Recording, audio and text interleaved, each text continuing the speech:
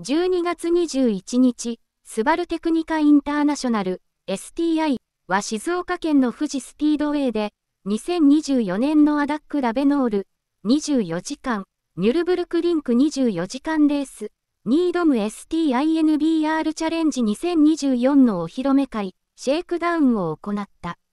2023年はトラブルで悔しい挑戦となったが、2024年は何としても勝ちたいという強い思いのもと、入念なトラブル対策とともに必勝を期する。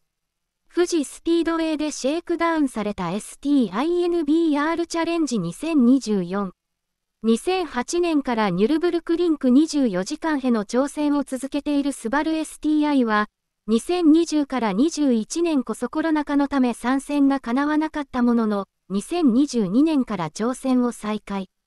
22年はクラッシュを喫するレースとなったが、その悔しさを晴らすべく、2023年は新型2.4リッター直噴ターボエンジンを積んだる S4 をベースとした STINBR チャレンジ2023で挑んだ。ただ、2023年はエンジン冷却水回路不良、発電の不具合、サスペンショントラブルによる接触、エキゾーストマニフォールド排気漏れなど度重なるトラブルにより、レース中ピットでの大改修を強いられてしまい、SP40 クラス2位という結果に終わっていた。迎える2024年の挑戦は、辰巳英二総監督が、2023年には新しい技術も投入してきたにもかかわらず、ドイツに忘れ物をしてきてしまった。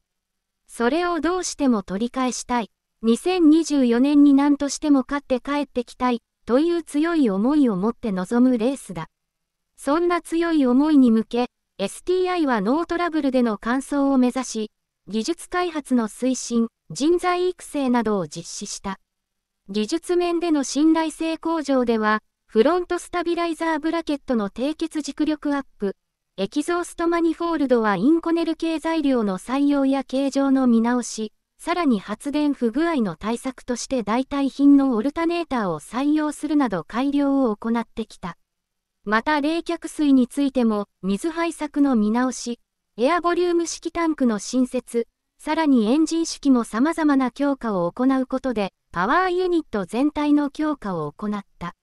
もちろん、これらの改良は信頼性向上に加え、軽量化も合わせて実施。また空力面でも各種ガーニーの追加やトランクリッドの追加、翼端板拡大などを行った。また将来の市販車への採用を見据え、BBS ジャパンと共に STI フレキシブルパフォーマンスホイールというホイールを開発。微小打反応、限界性能の向上を図った。また車体だけでなく、2024年も全国のスバルディーラーからディーラーメカニックが参加。ドライバーについてはこの日、開発ドライバーとして佐々木光太に加え、新たに久保林太郎が紹介されている。カラーリングについては、2023年同様 WR ブルーに STI のチェリーレッドが採用されるが、2024年はよりシンプルに。クラス優勝のチェッカーを受けることをイメージしたチェッカー柄が、日本の象徴である桜模様に変化するものとなった。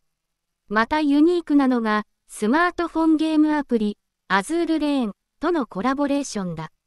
詳細はまだ明かされていないが、今後 STI とアズールレーンで様々なコラボを行っていくという。スバル STI の市販車にもつながる挑戦が続けられているニュルブルクリンク24時間への挑戦。